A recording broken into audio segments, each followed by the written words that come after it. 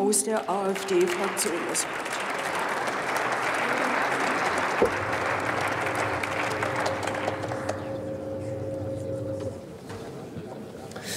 Vielen Dank, Frau Präsidentin, meine Damen und Herren. Die FDP-Fraktion will mit ihrem Gesetzesentwurf unter anderem auch die Zuwanderung begrenzen, indem sie die Maghreb-Länder als sichere Herkunftsstaaten einstufen will. Das ist schon mal nicht schlecht. Aber, meine Damen und Herren von der FDP, wenn es denn nur so einfach wäre. In einem funktionierenden Rechtsstaat könnte das sicher ein probates Mittel sein. In Deutschland nach 13 Jahren Merkel-Regierung und insbesondere ihrem kompletten Versagen in der Flüchtlingsfrage im Jahr 2015 bedarf es zwingend noch weiterer Maßnahmen, um den Karren wieder aus dem Dreck zu ziehen. Es mag schon stimmen, dass mit der Einstufung von Tunesien, Marokko und Algerien als sichere Herkunftsländer die Asylanträge künftig recht schnell nach 29a Asylgesetz als offensichtlich unbegründet abgelehnt werden können.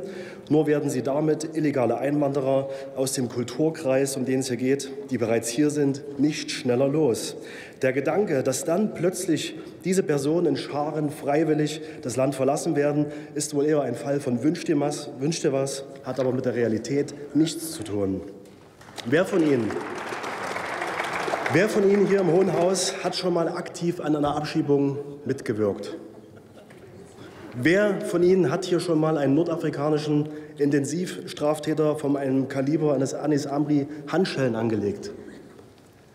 Das ist schade, da haben Sie nämlich einiges verpasst. In dem Gesetzentwurf ist von beschleunigten Asylverfahren, verkürzter Ausreisefristen und schnellerer Rückführung die Rede. Aber dabei, meine Damen und Herren, haben Sie keinerlei Ahnung, wie es in der Praxis aussieht.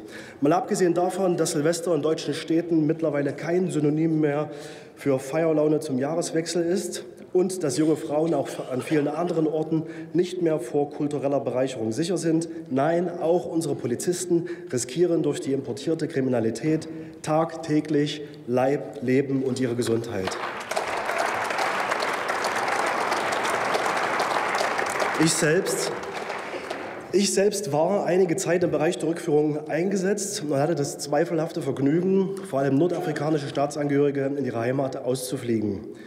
Keiner von Ihnen hier hat auch nur ansatzweise begriffen, was das bedeutet, nordafrikanische Staatsangehörige abzuschieben. Aber es ist so oft, es ist wie so oft in der Politik der letzten Jahre, dass Leute Entscheidungen treffen, die von der Realität genauso weit entfernt sind wie Nordkorea von der Pressefreiheit. Aber zum Glück gibt es ja jetzt die AfD. Die Frage bleibt, warum wollen wir denn die ganzen nordafrikanischen Fachkräfte für die spontane Eigentumsübertragung alle wieder nach Hause schicken? Hierzu reicht ein Blick in die polizeiliche Kriminalstatistik. Im Jahr 2016 gab es demnach einen Anstieg bei der allgemeinen Kriminalität, bei den sogenannten Zuwanderungen um sage und schreibe 53 Prozent. 53 Prozent. Dabei gehen allein 11 Prozent auf das Konto von Tatverdächtigen aus Algerien, Marokko und Tunesien, obwohl diese gerade einmal einen Anteil von 2,4 Prozent an den Asylsuchenden ausmachen. Lassen Sie sich das bitte auf der Zunge zergehen. Eine Gruppe von gerade einmal 2,4 Prozent der Asylbewerber begeht 11 Prozent der Straftaten von Zuwanderern. Und auch für das Jahr 2017 zeichnet sich dort ein ähnliches Bild ab. Die Zahlen zeigen doch auch, dass in eben dieser Gruppe die Handtaschensuchenden relativ stärker vertreten sind als die Schutzsuchenden. Und nun und nun hat ja unser scheidender Innenminister ein bahnbrechendes Rückführungsabkommen mit Tunesien abgeschlossen. Demnach dürfen sage und schreibe 25 Tunesier auf einmal rückgeführt werden. So wurden im Jahr 2017 ganze 251 Personen auf dem Luftweg nach Tunesien abgeschoben. Das, meine sehr geehrten Damen und Herren, würde bedeuten, wenn das so weitergeht in diesem atemberaubenden Tempo, dass man nach sechs Jahren erstmal mit den 1500 tunesischen Ausreisepflichtigen fertig ist, welche bis dahin hier in Deutschland mit dem rundum sorglos Paket des Asylbewerberleistungsgesetzes alimentiert werden, inklusive Zusatzverpflegung von den Tafeln.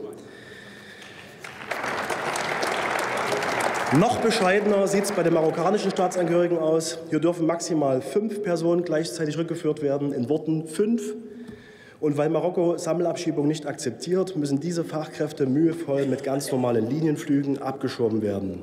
Dafür belegen dann auch marokkanische Staatsangehörige Platz 2 in den Top 10 der gescheiterten Abschiebung auf dem Luftweg aufgrund von Widerstandshandlungen. Übrigens geht hier die Goldmedaille in dieser Disziplin an Rückzuführende aus Eritrea. Na gut, eigentlich geht sie nicht nach Eritrea, sondern sie bleiben ja mit den Eritreern hier in Deutschland. Meine sehr geehrten Damen und Herren, die Einstufung der Maghreb-Länder als sichere Herkunftsstaaten im Sinne von Artikel 16a Absatz 3 Grundgesetz ist richtig, stellt aber nur ein kleines Puzzleteil dar. Genauso wichtig wäre die Einführung von effektiven Grenzkontrollen, um diese illegalen Einwanderer bereits an der Grenze zurückzuweisen, anstatt aufwendige Abschiebung aus dem Inland zu vollziehen und so auch unsere Bürger davor zu bewahren, Opfer einer Straftat zu werden. Vielen Dank.